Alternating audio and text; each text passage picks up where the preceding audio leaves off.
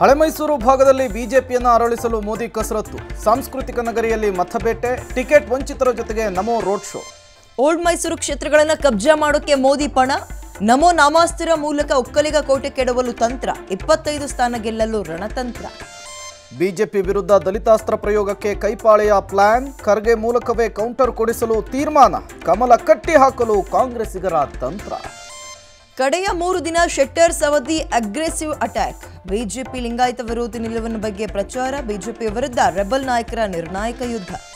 ಇವತ್ತು ಕಲ್ಪತರು ನಾಡಿಗೆ ಘಟಾನುಘಟ್ಟಿಗಳ ಎಂಟ್ರಿ ಅಮಿತ್ ಶಾ ರಾಹುಲ್ ಗಾಂಧಿ ಬಿಎಸ್ವೈ ಸಿದ್ದು ಅಬ್ಬರದ ಪ್ರಚಾರ ಯಾರಿಗೆ ಜೈ ಅಂತಾರೆ ಮತದಾರ